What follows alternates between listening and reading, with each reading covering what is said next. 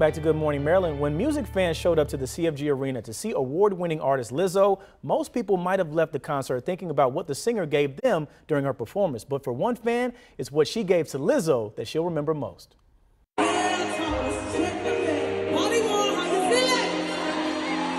It was a special moment for music fans in Baltimore seeing Grammy Award winning singer and rapper Lizzo perform live. But one person in this packed arena is cherishing this moment the most, and she still remembers many of the thoughts running through her mind. Yes, that is it. That's what you mean. Yes, it's on her body. Yes, it's on the stage.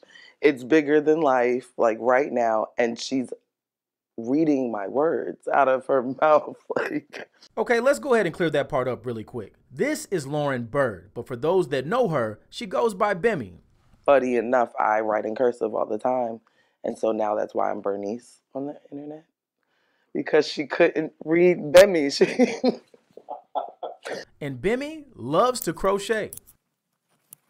You to see me at meetings with yarn, at family event. Like I always have my yarn with me. A oh, family tradition. There were times literally would be at my grandmother's house and like in the living room, everyone's crocheting. In art, she started learning from her mom at the age of six. Oh yeah, apparently her family has a knack for making special gifts for special celebrities. Pictured here, her aunt and a handmade blanket she gave to a guy by the name of Muhammad Ali. And now, after 34 years of turning balls of yarn into works like these, she's watching a pop superstar wearing her creation on stage. But how does one even begin to pull this off? Once I realized her show was on my birthday, I knew that I wanted to create something. Not just anything. So I add little Easter eggs in all of the pieces that I make. A callback to another memorable moment for the singer. And then when she did the Saturday Night Live performance, and I saw her in that Blue Monday depiction, I was like, oh, that's it. For her to honor that historic piece of black art, it felt significant to go ahead and honor her in that moment as well. Honestly and truly, I literally just started with the picture and then went from there. And from the looks of things, Lizzo seemed to appreciate the gesture. I like this quality now. I might keep this quality on. Uh,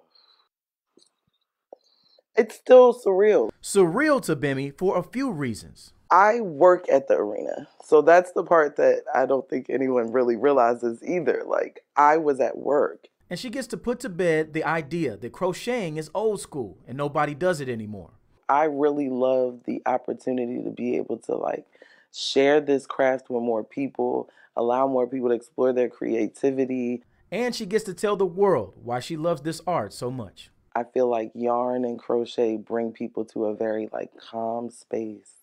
And it reminds them of like peacefulness and relaxation and family and joy and things like that. And like we all need that. We all need that.